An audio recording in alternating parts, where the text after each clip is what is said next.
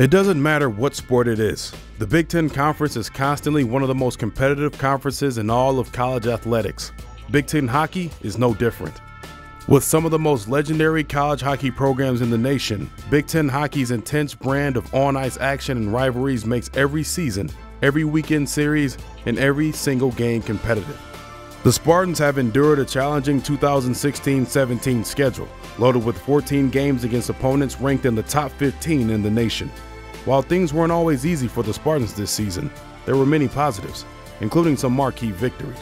Like a 4 3 road win at 2016 NCAA champion North Dakota, two wins over the Wolverines, and most notably, an impressive and productive freshman class that are helping lay a solid foundation.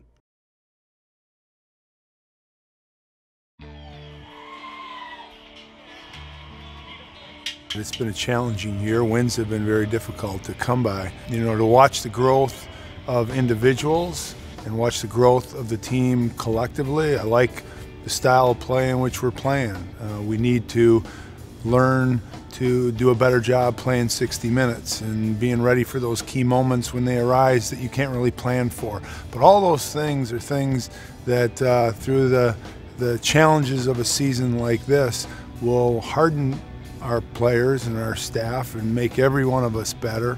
And we've seen that progress throughout the seasons. Started off kind of shaky. We had a tough first weekend, and then from there we kind of got things going. You know, we started playing good hockey, and uh, one of the big time, big parts of our season is when we went in North Dakota. You know, really hard environment. We got a big win Friday night, and then Saturday we won in uh, double OT. But obviously that goes down to the tie. But that was big for our team. You know, big confidence boost. Biggest moment and the ones that I'll remember the most from this season are the wins against Michigan. Beating them twice in the Yost, um, that's the first time we've done it since I think uh, the year 1989. So doing that and having the better overall record versus Michigan is definitely the biggest moment for me. When we struggle, it's because we don't stick to our identity and play our way. And when we have success, it's because we're playing Michigan State hockey for all 60 minutes. And at the college level, you know, you need to play your way for 60 minutes if you want to win games consistently. I think if we play as a team, we can compete with anyone. So that's where we need to focus and be all 60 minutes just be playing together. I think for the majority of the season, we've had a little too much inexperience. Um, we had, you know, 10 freshmen coming in, most of them have been playing, so um, they've done a good job coming in and doing what they could do to help the team. During the course of the season, we've had nights where we made costly turnovers at bad times. Maybe we needed a goal on our power play, we didn't get it. Maybe we needed a kill on our penalty kill, we didn't get it, or a big save, and that didn't happen. Those are things that I think as we continue to evolve as a team, as a group, uh, guys will learn from, learn from each other's mistakes, and hopefully learn from each other's successes as well to see when key plays were made at key times and what it takes to be ready for that moment to make that play because that happens before it happens. And you got to prepare for that to happen and practice every day. So it's been a good practice team. Uh, like I said, a very good group of guys that the chemistry is good. And I think as this team continues to evolve, lots of good things will occur.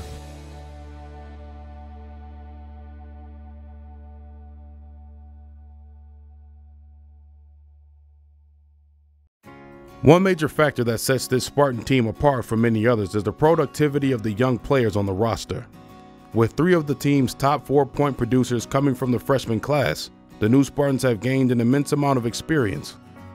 The freshmen have learned lessons against premier opponents and gained experience playing in key situations as they aim to take their play to the next level and restore the Spartan hockey program to the prestige of years past.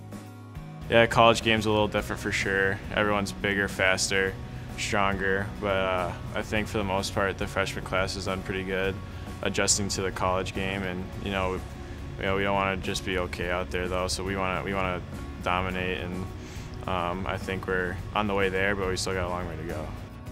Coming in, you know, you never really know what your role is going to be with older guys. You know, you you think that they're going to be ahead of you and everything, and I think coming in, I just if I played in the just got in the lineup every night and you know, trying to just contribute every way I can, whether it be on the second power play unit or whether it's like a penalty kill situation or just, hey, scoring a little big goal here or there. What that would have been great for me. I wanted to play in every game. I wanted to dress in every game, uh, do whatever I can to contribute. uh, defensively, offensively, whatever it may be, whatever was asked of me. I just wanted to, to fulfill that role as best I could.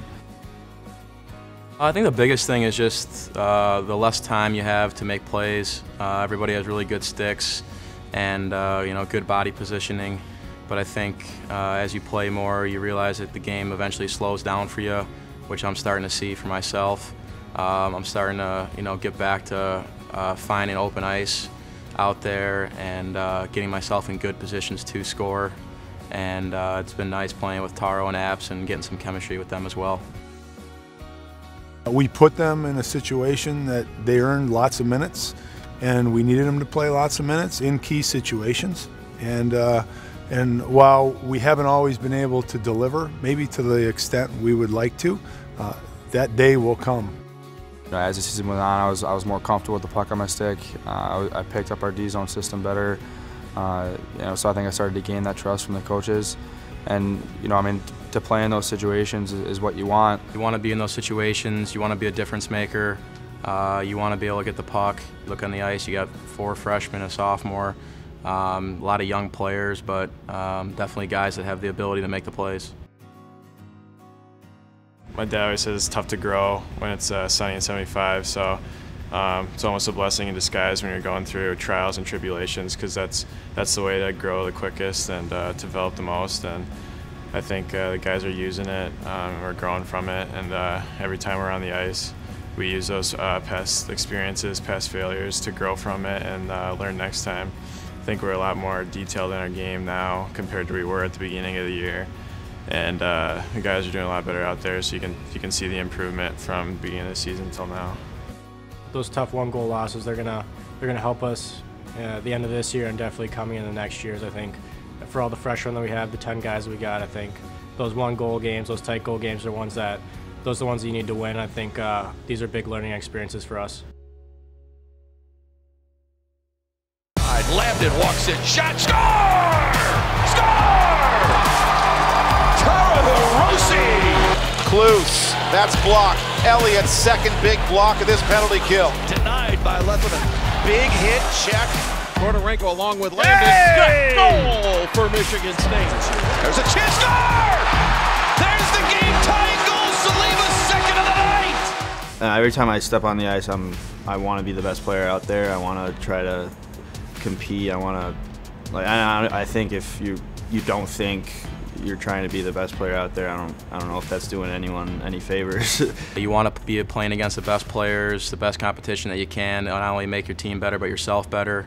Um, and it's just embracing those roles and uh, playing in the moment really. It just goes from you know happy to be out there to you know we we want to do something for sure and uh, I think this this class has uh, bright things in its future and there's there's no reason uh, this class can't um, go down as winners and uh, go down as a, a great class. And um, my goal for this class is to help the younger kids that come in uh, next year and the year after, help develop them as quickly as I can, like some of the older guys have helped us this year, and uh, create a great team. And um, that's what we're trying to build here, a winning team and a, a championship team. The potential for this class is anything we want it to be, I think we got a lot of good forwards, we got a lot of good D, and we got two good goalies right now. So I think uh, I think if we keep working hard and we uh, put it put it into the off season, I think we're going to be as good as we can want to be. Very strong foundation, and it's a group that will be hardened by a challenging season yet they will be rewarded with the experience that they've gained. They'll be able to pass along uh, a great deal of the experience gained, especially this year, to the new guys who come in uh, next season. So I think the, the, the foundation of this group is very solid, and uh, they're on the cusp of doing some terrific and very exciting things here. While a talented group of young players can play a major role in the success of a team, someone has to train those players and get them up to speed as they make the jump from juniors to college. The Spartan coaching staff not only has impressive credentials, with experience playing in thousands of professional games and in multiple Olympics, but five of the six coaches on the staff have donned the green and white and know what it takes to succeed in college hockey. These coaches are dedicated to helping these young stars make it to the next level and bring the Spartan hockey program back to greatness. It's so cool being part of Michigan State. I've I love Michigan State, always have. And the unique thing about Michigan State and the alumni from different eras is they're all really tight. And uh, so I, I know everybody well, uh, or I'd known everyone well previously, even though I hadn't played with them. And uh, uh there's great mutual respect and care factor. So and it's really cool to see everyone kind of trying to chip in and, and, uh, and take us to the next level when I got the opportunity to come back, it was a no-brainer. I mean, love to be here. Get to come to work at Michigan State every day, uh, drive right past the Sparty statue, pull up here to Munn, and get to go to work where uh, where a lot of people would love to. For me, you know, I just want to to help them if they want to play, you know, continue on to that next level, you know, build their confidence, you know, just pass on some things that I learned, you know, through the years, and you know, hopefully that'll help them out. You know, if they if they come to you and they have those questions, and it, it's good to know that you know, we, we have we all have different various backgrounds of where we played and stuff like that. Go down and like spin off. Right, and that, those challenges that we discussed were a little bit more like to, to the net like that. I really think what us guys that play try and uh, contribute is just those subtle little details to guys, things that they've never never maybe heard before in junior hockey or midget hockey, and um, you know, you never want to say too much, uh, but I think if you hit guys at the right time on little personal things, I think they appreciate that you recognize that, uh, that little something in their game and that you were watching, and that and that they know that we have unique perspectives that are, are worth sharing. Their resume speaks for themselves. They played they played lots of pro hockey, and Yorkie and Muzz and, and Fasty have played at all levels, so that Coach Miller for that for that uh, for that matter. But you know those guys have played at the highest level, so you want to take things that they say, take things that they do, um, because they've been a pro, and you know I aspire to play at the next level. So you know you kind of model what they do, um, you do value what they say, listen to what they say. So you know when when they open their mouths, you know you know what they're saying is is valid and meaningful. I know personally I'm I watch a lot of film with Fasty, uh, just his knowledge for the game, what he's been through, his experiences, playing at the highest level, um, is, is really been very helpful in my game uh, in all aspects of it. He's, uh, you know, really focused on the 200 foot aspect of it, uh, so he teaches me a lot from that side of the puck. Mike York and Brad Fast and Jason Muzzatti, I mean, all three of those guys are, are have great hockey minds. They've played at the highest level. Um, they are just a wealth of knowledge and they can identify with where our kids are and where they're trying to get to and how to get there. And just our guys being around players that have, you know, done such good things in their hockey careers, I think is real important. And we're very blessed here at Michigan State to have three guys like that come back to our program and be such an integral part of our program he had some movement before, like as the puck was coming to him. We want to win. That's it's plain and simple. We're developing this team here. We're developing the program so that we can be a powerhouse. We're all Spartan players, you know, hockey players, and we, we want the program to be great. You know, we want to win. We want to get back to the to, to winning championships, getting back to the NCAA tournament. You know, it's it's pretty unique that you have uh, you know five, six of us down there that all played here, and we're you know we're all our goal is all the same. You know, we really want the program to be you know great again transition, so I think we can take advantage of that. You just to continue our speed and get on it. Do you know what I'm saying? It's not the, the, handoffs don't. We're excited about uh, the influx of youth and, and talent. There's some exciting guys on the team and, and guys coming, so uh, the enthusiasm is real, real strong, and you know there's a lot of teaching that has to go on, and we all have to do sort of our part um, to contribute. But ultimately, uh, the goal is to win. We don't want to be close, you know, and lose close games. We we want to win and win championships. So that, that's why I'm here, anyways.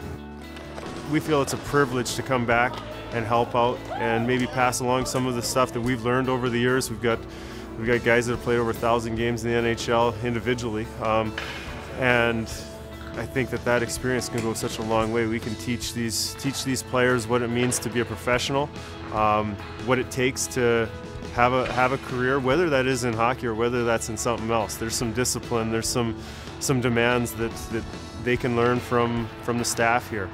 The sacrifices that need to be made to whether it's make it to make it to the NHL or or um, have a good career in business or otherwise. It's all hands on deck, and we want people involved in the program. We want past experiences to help guide you know future successes. We all want the program to get back to the national prominence that we, once had. And uh, so we're not shy to rely on, on former uh, Michigan State hockey players uh, or those close to the program to help us do that. And we welcome it. We, we want those guys to come back and, and share their experiences. Welcome to the Mariucci Ice Arena in Minneapolis, Minnesota. Michigan State gets ready to wrap up the regular season for 2016 17 on the road against number five Minnesota. Six consecutive conference championships for this Minnesota juggernaut. I say it's good time for the Spartans to shut that down right now. Saliba trying to get there. Kloos kept him away. Around behind the net, Hirose out in front. Oh, yes! Edmonton shot goal for Michigan State. A scrambly garbage type goal. The Spartans will take it quick and dirty. The Spartans take the lead one to nothing. Sanford with a. Oh! shot. Rebound came out into the slot. Ebbing was there, but he put it over the cage. A very good first period for the Spartan hockey program as they knocked Minnesota down for the first 20 minutes of play, one to nothing. Well, like we said, Scott, Michigan State just seems to be playing in a whole nother gear here tonight. Make it miserable for this goalie the second period. More miserable than the first period. Hit the goaltender. Hit the goaltender. Hit the goaltender. Hit the goaltender. And get lots of traffic there. Good 20. Let's go make this a better ball. Circle back to Hirose. Hirose shot high over the cage, bounces right back into the crease. And it's covered up there by Eric Schierhorn. Over to the left circle, turns around there, backhand try, loose off to the side of the crease with Ebbing. Ebbing on the run, two on one if the Spartans hurry into the zone. Ebbing with a shot, rebound into the slot. Picked off by the Spartans. Another shot and a save by Schierhorn. Come on, Joe. And now here we go to Joe Cox. Oh. Joe Cox in on, on by himself, takes the shot, and the save was made. 40 minutes down, 20 yet to play. Michigan State still leading Minnesota by a score of one to nothing. Two real good periods. We're prepping for next Thursday. Two real good periods. We got 20 minutes of preparation time. Let's take advantage of it. Okay? Let's play hard for each other. Let's go. To Sheehy on the far side, down to the goal line, working out in front, looking for the back door, couldn't get it there. Spartans battling for it. It comes out in front, shot high over the cage, over to the near side. Spartans take it away, batted off the near board, stays in the zone. Kloos over to the far side, shot goal. Tyler Sheehy finally connects. Now Pitlick coming back in on the left wing, fed it out in front. Shot oh! save made by Minney. Wow. Ed Minney with some big saves in the final minute of this game here, Scott. One against Kloos, the other against Lettieri, and that's why we're heading into overtime. wins. Oh, no. There's Oh! a shot between the circles by Kloos and a save by Minney. And we'll go to the shootout. Taro Hirose picks it up, goes to his left. Back into the middle. Back into the middle. Yes! Shot goal. He went upstairs over the glove shoulder. His speed down the middle. Cuts to his left. Back into the middle. Yes! Scores! Zach Osborne wins the shootout for the Spartans. You guys know we can, we can beat anybody in our league. We can beat anybody in our league. And it's going to start Thursday. So get your minds ready for that. Get your minds with that warrior mindset that we're going to lay it all on the table for each other. It all comes down to this the Big Ten tournament in Detroit, Michigan. These will be the final college games played at historic Joe Louis Arena, and they will feature four top 20 ranked teams in the country and six teams desperately trying to stake their claim as a conference champion and earn an automatic bid to the NCAA tournament. First up for the Spartans, the Buckeyes of Ohio State. Joe Louis Arena, which has such a rich history, not just for the Red Wings, but for college hockey at the Joe. And for our players, so many of them grew up watching big games in that venue. So for us to have our final Big Ten tournament in that location will be special for all of us on our team. Oh, It's a great venue, and obviously every time we play there, it's a blast. You know, you're playing in front of 15, 20,000 people. So uh, hoping you can almost get a little home ice advantage playing there for the Big Ten tournament. You know, us in Michigan kind of got that advantage going. We're obviously there to win three games and make a make a statement and get to the national tournament. So that's our goal, and that's what we're going to strive for. I think having four teams and that are ranked that could be in the NCAA tournament after the Big Ten is something that's going to be pretty special, especially being able to play in that tournament against that competition. I think it's gonna it should bring a lot of fans in and to see all the talent that's going on and see the talent that's going to be at the next level. Ohio State is uh, has one of the best offense, you know, in the nation, one of the best power plays. So for sure, shutting down their power play is a huge thing for us if we want to beat Ohio State. Capitalizing any opportunity that we get, you know, they're a pretty uh, high penalized team, so any chance we get in the power play, we got to capitalize, and we got to shut them down defensively. I think our matchup against Ohio State uh, for the past number of years has uh, been a lot of give and take, a lot of one-goal games, uh, always close games.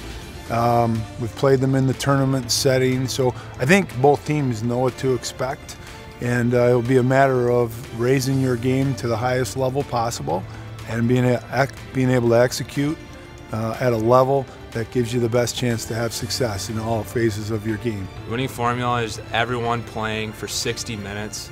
Uh, we can't have three lines. We can't have everyone going for 55 minutes. We need everyone playing hard for 60 minutes, playing good defense, you know, doing the little things.